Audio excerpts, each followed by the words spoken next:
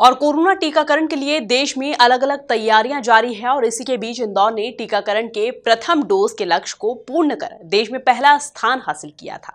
जिसके बाद दूसरे डोज की तैयारियाँ भी शहर में तेज गति से जारी है। सीएम शिवराज सिंह चौहान के निर्देशों पर इंदौर ने कोरोना वैक्सीनेशन का पहला डोज का लक्ष्य पार कर लिया है और इसके बाद दूसरे डोज की प्रक्रिया भी चल रही है, जिसमें अभी तक चौदह लाख तिरपन हज़ार से ज़्यादा सेकेंड डोज लगाए जा चुके हैं।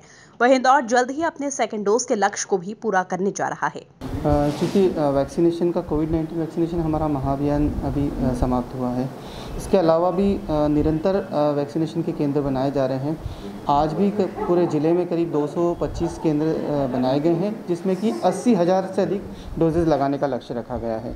अभी तक अगर हम बात करें, फ़र्स्ट डोज अट्ठाईस लाख इक्यानवे हज़ार डोजेज़ फ़र्स्ट डोज के रूप में लगाए जा चुके हैं। वहीं चौदह लाख चौरासी हज़ार डोजेज़ हम सेकेंड डोज के रूप में लगा चुके हैं, जो कि हमारा टारगेट का इक्यावन प्रतिशत है।